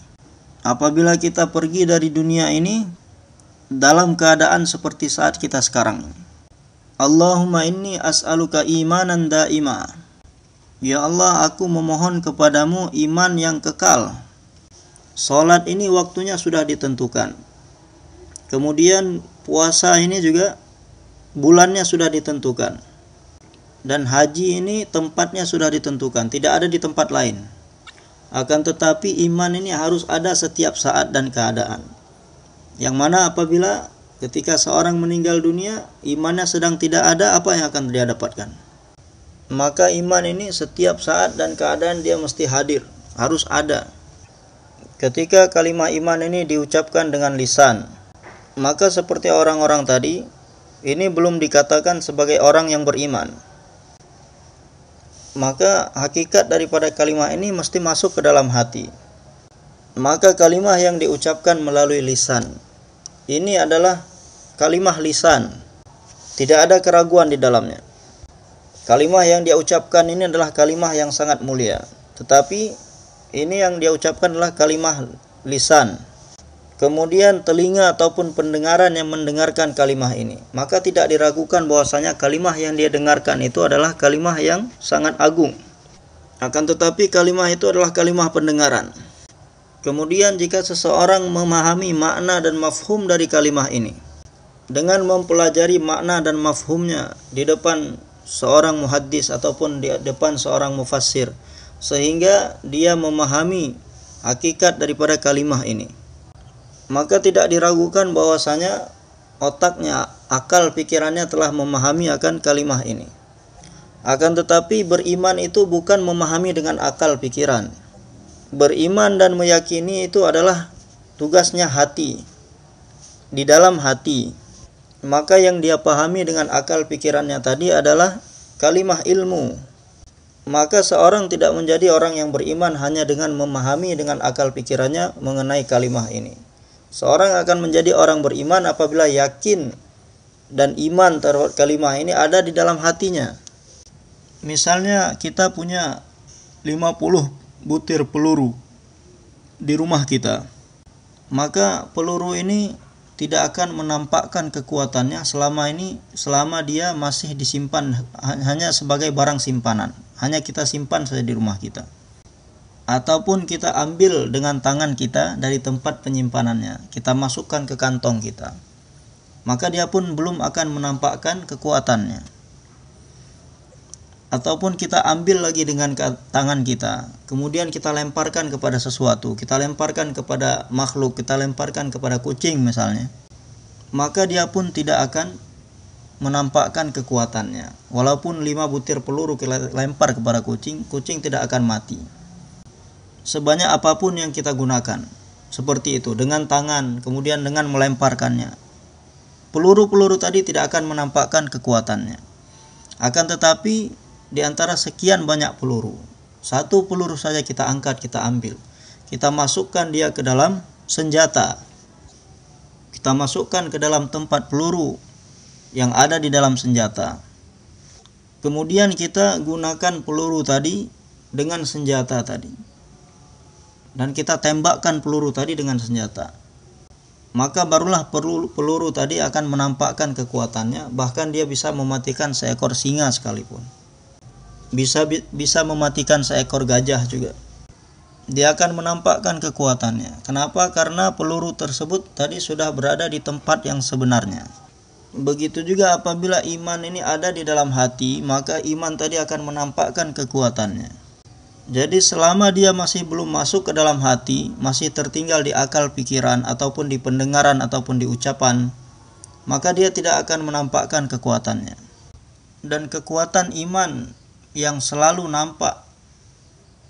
Kekuatan iman yang paling besar dan yang paling pertama sekali tampak itu adalah dan akan selalu nampak adalah dia selalu memajukan seorang hamba kepada kebaikan dan mencegah seorang hamba daripada kejahatan dan dosa-dosa. Dia akan bisa memajukan seorang manusia kepada setiap kebaikan-kebaikan dan dia bisa mencegah seorang manusia dari segala keburukan-keburukan. Apabila iman ini telah masuk ke dalam hati. Jadi seperti kesehatan, seseorang yang sedang sakit, maka dia duduk juga susah, berdiri juga susah, melihat juga susah, berbicara juga susah, berjalan juga susah. Dia akan kesusahan melakukan segalanya. Bahkan tidak bisa melakukannya Kemudian dengan karunia Allah Subhanahu wa taala dia minum air zam-zam, dia makan, dia buat asbab-asbab kemudian Allah berikan dia kesehatan. Maka ketika dia mendapatkan kesehatan, langsung dia mau maju ke depan, dia akan maju ke depan. Dia mau mundur ke belakang, dia mundur ke belakang. Maka akan mudah untuk melakukan segala sesuatu. Mudah untuk menuju kepada segala kebaikan-kebaikan dan akan mudah menghindari diri dari keburukan-keburukan. Dan selama keyakinan di dalam hati belum terbentuk, selama kesehatan belum didapatkan, selagi kesehatan belum didapatkan, maka akan sulit mengerjakan segala hal. Demikian juga selagi iman dan yakin tadi belum masuk ke dalam hati, maka akan sulit untuk melakukan segala ke kebaikan dan akan sulit meninggalkan segala keburukan maka tidak akan ada kekuatan untuk melakukan segala kebaikan dan meninggalkan segala keburukan. Jadi yang ada hanyalah betul, memang betul, memang betul. Tapi ya mau gimana lagi, mau gimana lagi. Saya terpaksa, terpaksa. Begini keadaannya. berbohong juga dia bilang terpaksa. Makan makanan haram dia bilang juga terpaksa. Makan riba juga dia akan mengatakan terpaksa. Kemudian suap menyuap juga dia akan mengatakan terpaksa. Ya mau gimana lagi kalau nggak begitu nggak bisa. Maka apabila iman dan yakin melekat di dalam hati, masuk ke dalam hati, maka situasi segala situasi dan keadaan akan berubah. Maka sebesar apa pun amalan, sebesar apa pun pengorbanan yang harus dibuat, maka akan terasa mudah bagi seseorang itu. Suatu ketika di Madinah Munawwarah, Rasulullah Sallallahu Alaihi Wasallam memerintahkan orang-orang untuk berangkat menuju medan perang. Maka seorang wanita, Sayyidah Khansa radhiyallahu anha, telah memanggil anaknya yang masih muda. Pada umumnya seorang wanita ini begitu cinta mereka kepada anak-anak ini sangatlah besar. Akan tetapi pada diri mereka karena adanya iman mereka akan rela berbuat apa saja kepada anak mereka. Karena iman ini adalah mengalahkan segala-galanya, mengalahkan kecintaan kepada segala-galanya. Apabila iman ada dalam hati, maka dia pun memanggil anak-anaknya yang masih muda, umur muda belia. Beliau mengatakan kepada anak-anaknya, bahwasanya aku tidak pernah mengkhianati nasab keturunan kalian. Aku telah menyusui kalian supaya air susuku ini halal bagi kalian, maka besok kalian harus berada di barisan paling depan ketika peperangan. Kemudian ketika mendapatkan kabar bahwasanya anakmu telah syahid, maka beliau mengatakan bersyukur kepada Allah Subhanahu wa taala, dia telah menjadikanku sebagai ibu dari anak-anak yang syahid di jalan Allah iman membuat kisah-kisah seperti ini, kejadian-kejadian seperti ini. Tidak ada yang susah untuk dilakukan bagi mereka, tidak ada pengorbanan yang susah dilakukan untuk mereka. Kapan semuanya akan menjadi mudah apabila iman ada dalam hati. Satu orang sedang berjalan di satu jalanan, tiba-tiba dia melihat ada ular di jalan tersebut. Maka melihat ada ular di jalan tersebut, orang tersebut takut. Akan tetapi setelah dilihat kenapa ular ini tidak bergerak? Padahal ular ini termasuk hewan yang sensitif. Apabila melihat ada orang di sekitarnya, di dekat-dekatnya, maka dia akan lari. Kemudian setelah diperhatikan lagi, ternyata ada sisa-sisa tubuh dari ular ini di dua tiga tempat. Maksudnya ular itu ular yang sudah mati. Maka setelah dia yakin melihat dengan mata kepalanya sendiri bahwasanya itu adalah ular mati, udah ular yang sudah mati. Apakah masih tersisa ketakutan dalam diri orang ini? Ketakutan yang tadi ketika pertama kali dia lihat ular tadi sekejap mata, tidak ada lagi ketakutan itu. Kenapa? Jadi keadaan yang ada dalam hati orang ini yang telah berubah. Sedangkan di luarnya tidak ada terjadi perubahan apa-apa. Hari ini keyakinan yang ada di dalam setiap hati orang-orang mulai dari anak kecil sampai orang tua. Mereka yakin di dalam hati bahwasanya bahwasanya ular yang hidup, ular hidup ini bisa mendatangkan kerugian. Sehingga ada rasa takut, ketakutan dalam hati setiap orang bahwasanya ular hidup ini bisa memberikan kerugian pada seseorang bisa menyakit menyakitkan seseorang. Lalu ketika diperhatikan dengan baik-baik, setelah diperhatikan lagi, ternyata diketahui bahwa bahwasanya ular tadi sudah mati. Kemudian dengan keyakinan yang pertama tadi, keyakinan di dalam hatinya pun telah berubah menjadi yakin yang kedua bahwasanya ular yang mati tidak bisa memberikan menyakitkan, tidak bisa melukai, tidak bisa memberikan kerugian. Ular mati tidak bisa buat apa-apa. Satu ular sampai sepuluh ular terserah. Kalau dia ini mati tidak bisa buat apa-apa. Seperti raja ataupun penguasa yang mati, yang sudah mati tidak bisa buat apa-apa, begitu juga ular yang mati ini tidak bisa buat apa-apa. Jadi kekuatan yang sesungguhnya adalah keyakinan yang ada dalam hati. Satu ketika di satu jalan di sebuah lembah jalan yang menuju ke kota Madinah. Maka ada singa di sana, sehingga orang-orang yang mau keluar dari Madinah ataupun yang mau masuk ke kota Madinah, mereka terhalang oleh singa yang sedang duduk di tengah jalan situ. Maka seorang sahabat mendapatkan kabar ini ataupun seseorang memberitahukan kabar ini kepada seorang sahabat. Maka sahabat itu mengatakan bawa saya ke sana.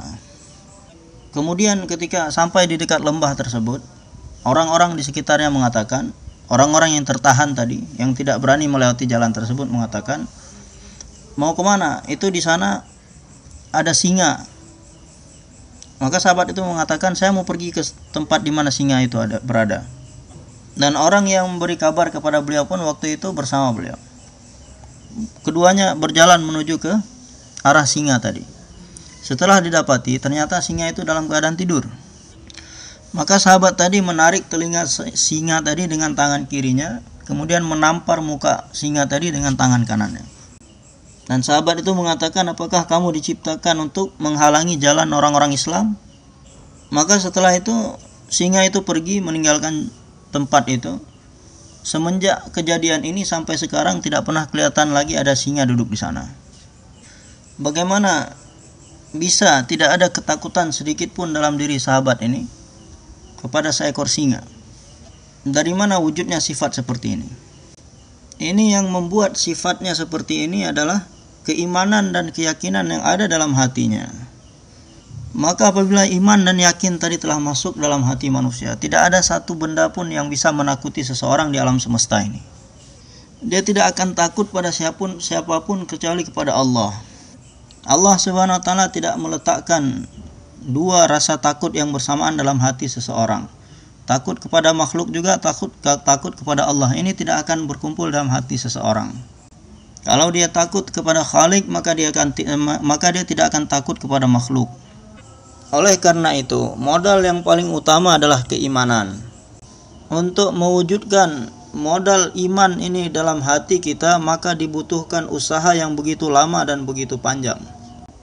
Tidak cukup hanya dengan nisab-nisab saja, karena ini usaha ini bukan seperti kursus. Kursus menyelesaikan pelajaran selama tiga tahun, ada yang satu tahun, ada yang lima tahun. Ini bukan usaha seperti itu. Coba tanya kepada orang-orang yang pertama sekali belajar perkara iman ini. Tanya pada mereka.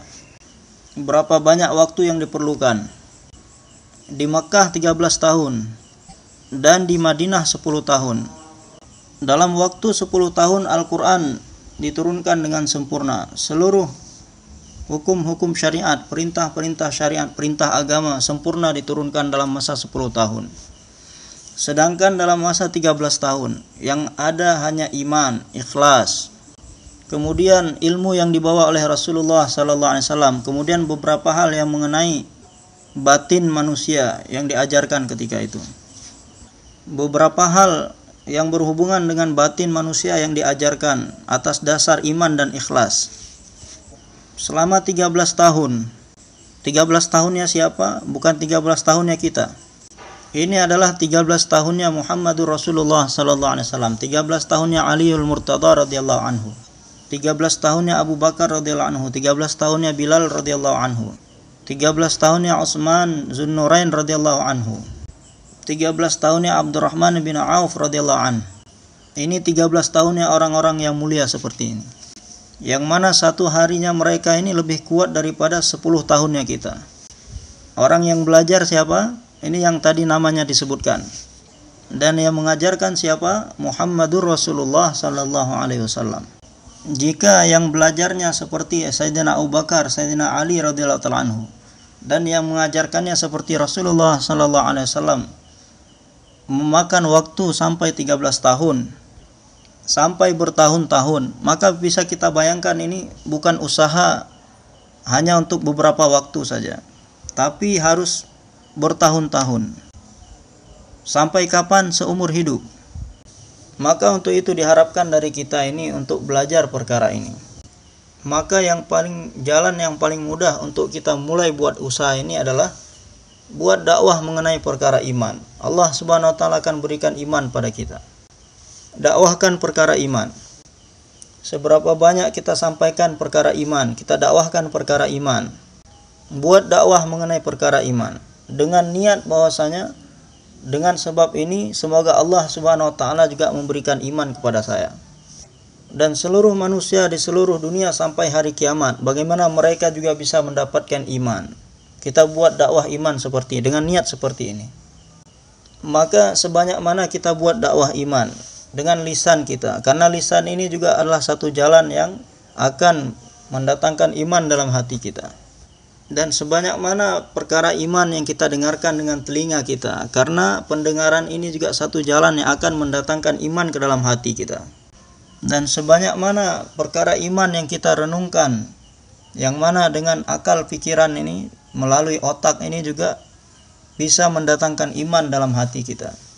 Dan sejauh mana kita melihat makhluk dengan pandangan iman melihat makhluk dengan pandangan iman ini menurut Maulana Muhammad Yusuf rahmatullah alaih setiap segala sesuatu yang kita lihat setiap makhluk yang kita lihat maka pahamilah bahwasanya apa saja yang kita lihat suatu saat nanti akan menjadi tanah. Semua tidak bisa buat apa-apa hanya zat Allah subhanahu wa ta'ala yang berbuat segala-galanya. Ini adalah pandangan iman.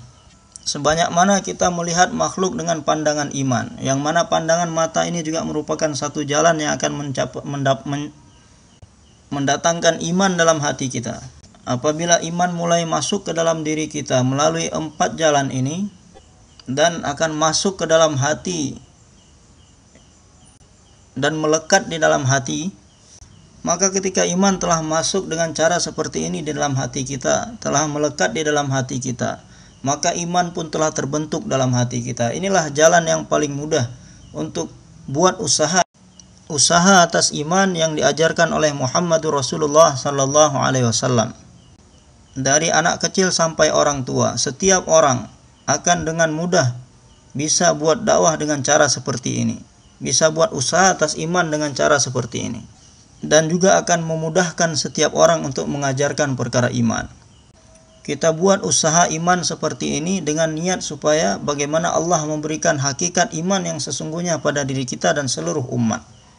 Ya Allah bahwasanya kami telah memilih jalan yang telah diajarkan oleh kekasihmu Nabi Muhammad sallallahu alaihi wasallam yang telah diajarkan oleh sahabat-sahabat radhiyallahu taala anhum ajmain. Kami memilih cara belajar dan mengajarkan perkara iman melalui cara yang pernah mereka buat, yang pernah mereka ajarkan sehingga dengan keberkahannya engkau juga memberikan kepada kami iman sebagaimana engkau telah berikan pada mereka dengan keberkahan dakwah iman seperti ini. Yang mana dakwah ini adalah asbab datangnya hidayah dan hidayah ini adalah sebab datangnya iman. Maka apabila iman telah wujud maka seperti tumbuhan yang telah tumbuh akarnya. Maka apabila akar dari satu tumbuhan ini tumbuh maka akan menumbuhkan bunga-bunga yang indah. Nah tanda-tanda sebelum tumbuhnya bunga-bunga maka tumbuh daun-daunan, ranting-ranting. Maka ketika iman tadi telah tumbuh di dalam hati, maka amal-amal soleh pun akan wujud dalam kehidupan sehari-hari. Jika iman telah wujud, maka amal soleh, amal-amal baik pun akan tumbuh dengan sendirinya, wujud dengan sendirinya. Akan tumbuh dengan sendirinya dari dalam. Amal-amal soleh itu apabila iman tadi telah tumbuh di dalam hati. Maka untuk itu saya memohon kepada kita orang yang buat kerja ini supaya kita belajar perkara iman ini. Untuk belajar perkara iman ini maka kita keluar untuk waktu yang untuk waktu yang tetap. Maka kalau sudah kita dapatkan iman ini, Allah Subhanahu wa taala akan mudahkan kita untuk melakukan menyempurnakan bagian agama yang lain. Silakan tuan-tuan berdiri dengan semangat dari hati kesadaran kita masing-masing bahwasanya inilah usaha yang sangat penting untuk dihidupkan. Catatkan nama kita, berapa masa yang akan kita berikan. Yang mana asalnya adalah kita berikan seumur hidup kita untuk usaha ini. Qul inna salati wa nusuki wa mahyaya wa mamati lillahi rabbil alamin. Jadi hidup dan mati ini hanya untuk Allah saja.